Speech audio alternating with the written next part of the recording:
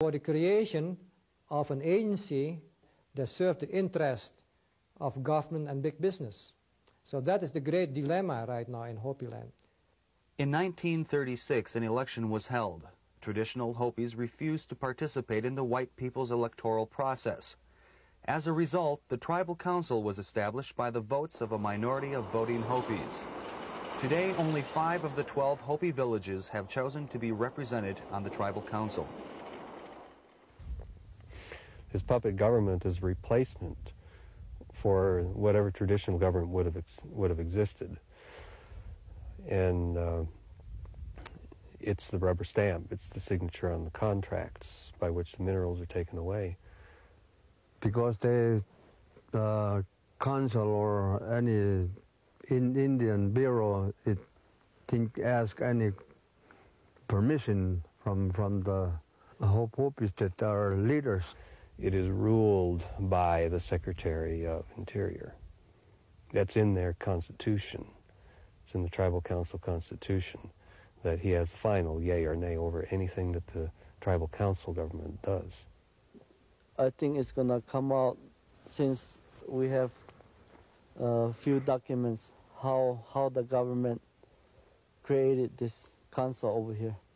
We wanted to abolish the council then if, if we clean this mess over here, get rid of the council, all the other native people will be free too.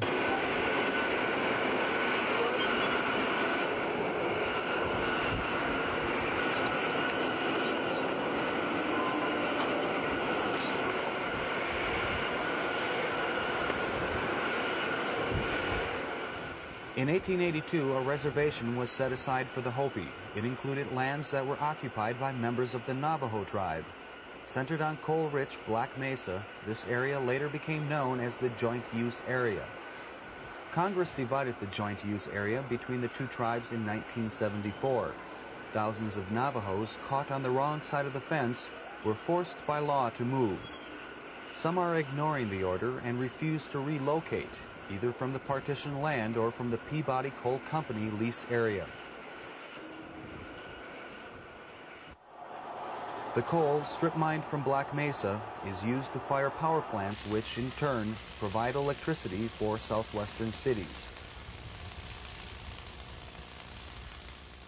They opened that mine to, um, to employ some people up there for jobs for the local people.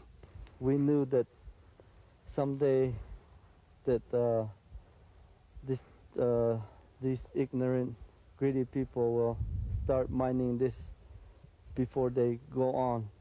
And right now, if you go up to the mining area, they say that what kind of experience do you have? And you gotta have some kind of experience like heavy equipment or some kind of experience on mining and to get a job up there they never, the government never asked us and then put up this Hopi Tribal Council. So what they're doing is everything is illegal, moving the Navajo people out and strip mining over here. People disagree with the mining ever since then because of the there's a lot of wrongdoing that the company has been doing to their uh, uh, culture and through religion belief and also through the uh, um, contaminating the land, water, the air. The people were talking about it, yeah, because that whole Black Mesa is a sacred ground. There's a lot of areas up on Black Mesas are uh, have uh, the herbal medicine that they use to cure sickness and use for the ceremonies and also like tobaccos for the ceremony.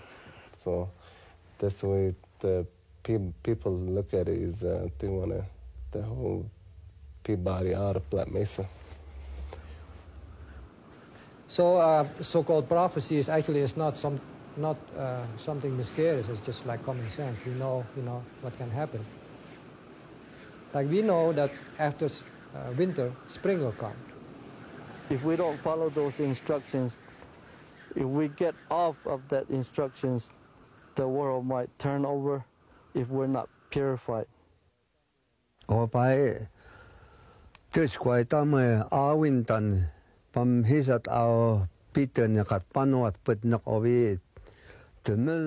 it already started.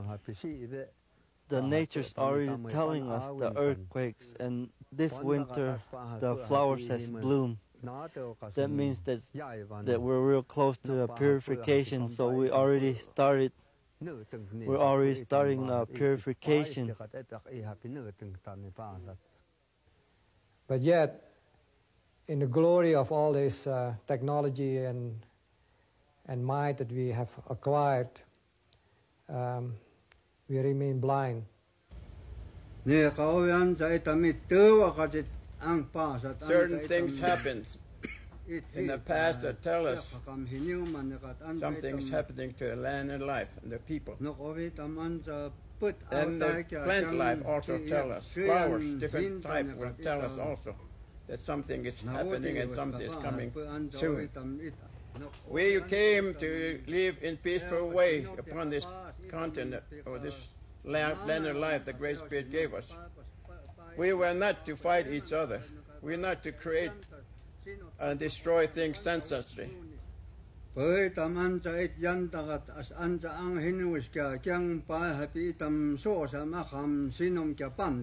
all have certain religious instructions, but it seems some different religious groups, societies, seem to have forgotten those basic instructions, teachings, and warnings, and are doing something just the opposite running after more things that are not in line with the law of great spirit of law of nature and creating this problem.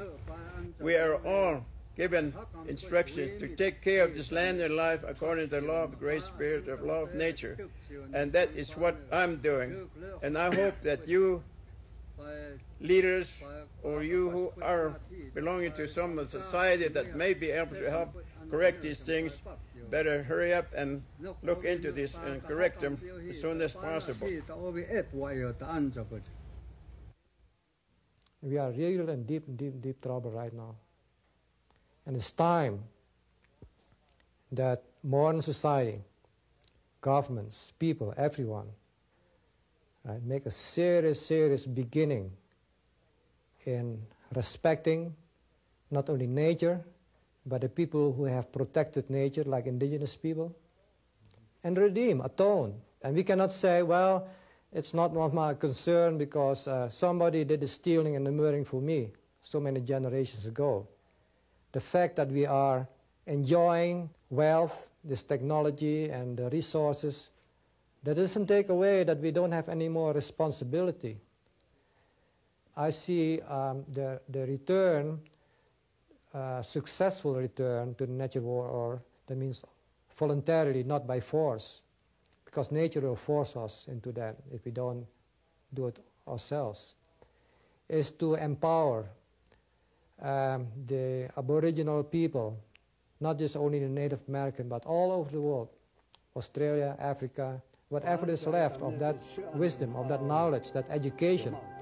So if we fix this right, then maybe a few people will be safe around this world, not just here in Hopi, but all, all around the world that will survive this purification.